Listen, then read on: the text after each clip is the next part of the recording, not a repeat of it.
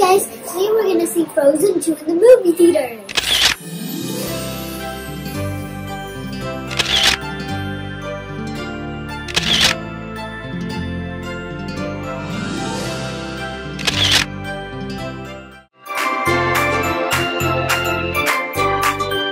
Hi guys, welcome to my channel Amazing Arya. Yesterday I got a chance to see Frozen 2 in the movie theater and was amazing and really adventurous. Let me tell you what I think about the movie. No doubt, it's about love between the sisters and your family, love for Arendelle, and why Elsa have her powers. We finally get to know who Elsa is in this movie, and I'm not going to reveal that. Anna is always protective of her sister.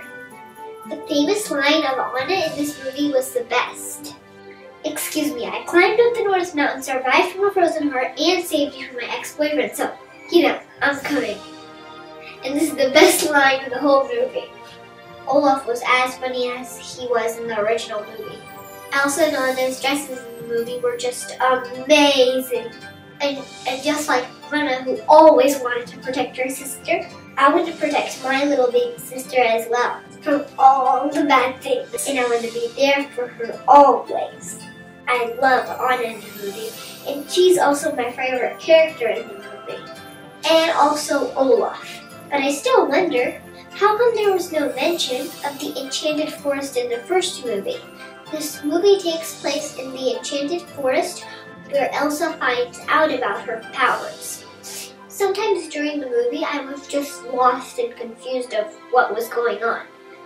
The five elements, battle, death, and that their grandfather was a bad guy. It was just a little bit hard for me to understand what was going on. And I think this movie would be a little bit too much for toddlers and a four or five year old.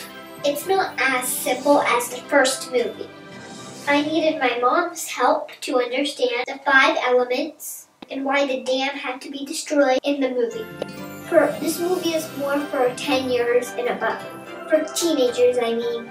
The, one best thing about this Disney movie is it's not just about prince and princess getting married and fighting with the bad guys, but it's about love between sisters, love for Arendelle, and it teaches us to be brave and strong and to always support your family, no matter what the situation is.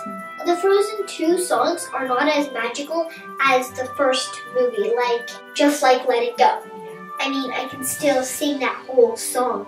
It was so much simple and easy to remember. The, the songs in the Frozen 2 were good, but I like the Frozen 1 songs better. The best song in the whole movie is Into the Unknown, but still it's hard for me to remember.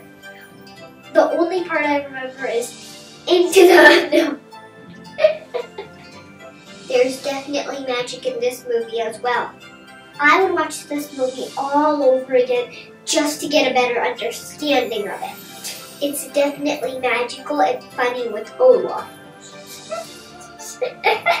it's not just a fairy tale movie, but it shows us the power of being with the family and staying with them. So I would definitely recommend this movie and don't let it go. Let it go. Can't hold it back anymore. Thanks for watching. Make sure to hit the subscribe button and the like button. I'll see you guys soon. Bye!